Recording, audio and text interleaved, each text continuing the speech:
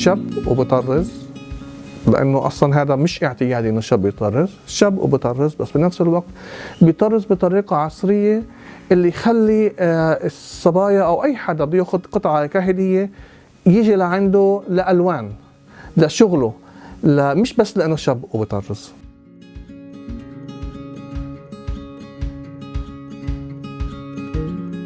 هوايتي بالتطريز كهواية بلشت منذ الصغر صراحة. هي كانت آه، في البيت مع الوالدة مع خواتي في البيت.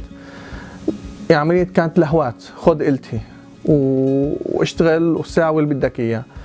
فتطورت الحالة لما شافوا الوضع إنه لا والله ماشي الأمور. تطورت الحالة وضلتها ببالي. صرت أحب الألوان وأحب التطريز. وشوي شوي شوي شوي شوي آه، قدرت أعمل قطعة.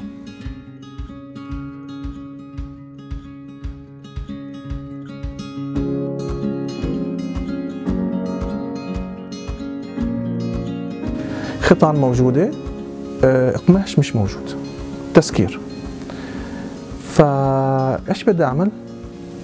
جبت دشداشة كانت عندي بالزمانات من 2003 ركبت عليها ماركة جبت الخيطان وبلشت أطرز أطرز. ما كنتش عارف شو بدي أطرز. شو الموديل اللي بدي أعمله؟ شو الشغلة أو القطعة اللي أنا بدي أنتجها؟ مجرد تطريز بدي أطرز. لطلع معي في النهاية فستان.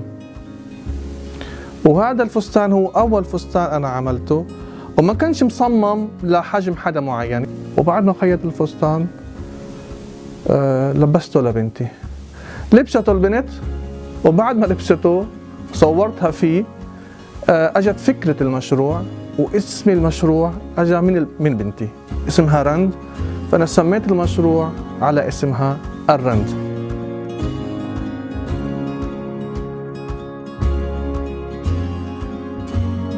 يعني بحب أستخدم الألوان التقليدية لأنه زي ما تحكي هو الحفاظ على التراث الفلسطيني والموروث الفلسطيني بألوانه هي نفسها. النماذج هي نماذج تقليدية معروفة ولا أي حدا بيقدر يبتكرها موثقة. هذا هو تراثنا الفلسطيني. ولكن أنا عشان أقدر أجذب ناس إلي أكثر استخدمت ألوان مغايرة للألوان الأصلية.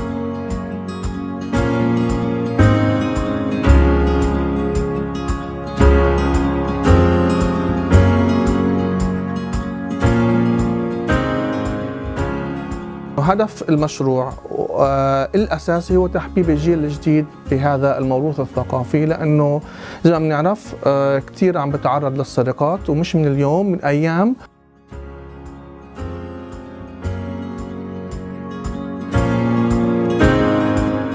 آه، تواصلت مع ناس من رام الله وقرى رام الله وتواصلت مع ناس من غزة. وزي ما حكيت هدف المشروع هو زي ما أنا بلشت أدور بفترة الكورونا أخلق فرصة عمل إلي بدي مردود مالي نوعا ما. فبلشت في أخلق فرصة عمل إلي لما فكرت أطور المشروع. وصار يتطور أكثر أكثر بلشت أفكر في خلق فرص عمل لناس ثانية فعلا هي محتاجة تشتغل. يعني قاعدة في